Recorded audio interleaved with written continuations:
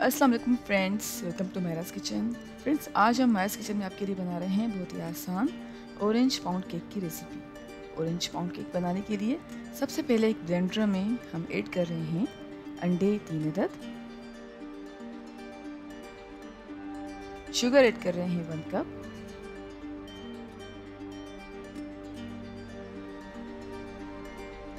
Cooking oil है half cup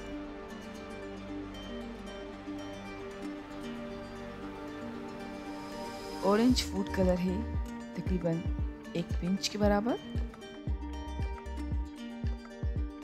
और chopped kiwi orange है एक अदर, और ऑरेंज को हम छिलकों समेत ऐड कर रहे हैं।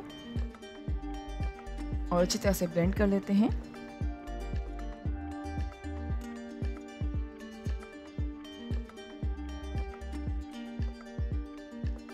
अच्छी तरह से ब्लेंड कर लिया है तो अब इस मिक्सर को हम एक बाउल में ऐड करेंगे। अब एक और बाउल में हमने एक स्ट्रेनर प्लेस किया है और छलनी में हम ऐड कर रहे हैं मैदा डेढ़ cup baking soda one teaspoon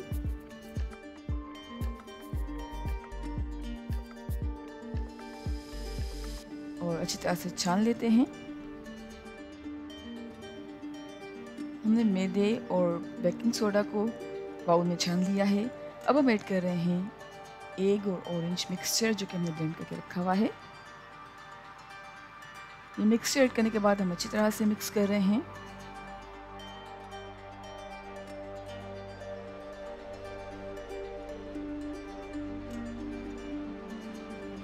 और अब एक बेकिंग ट्रे में अच्छी तरह से ऑयल लगाया है।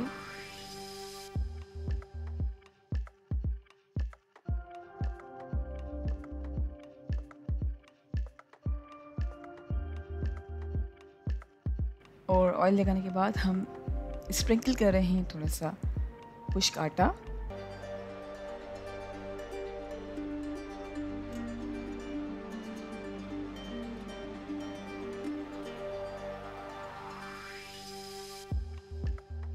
आटा स्प्रिंकल करने के बाद हम केक मिक्सचर ऐड कर रहे हैं।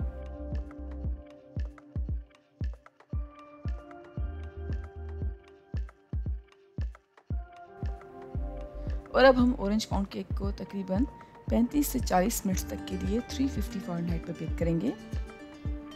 जी फ्रेंड्स हमने ऑरेंज पाउंड केक को तकरीबन 35 से 40 मिनट्स तक के लिए 350 फिफ्टी फॉर फारेनहाइट पर बेक किया है और हमारा मज़ेदार ऑरेंज पाउंड केक अब सर्विंग के लिए बिल्कुल तैयार है।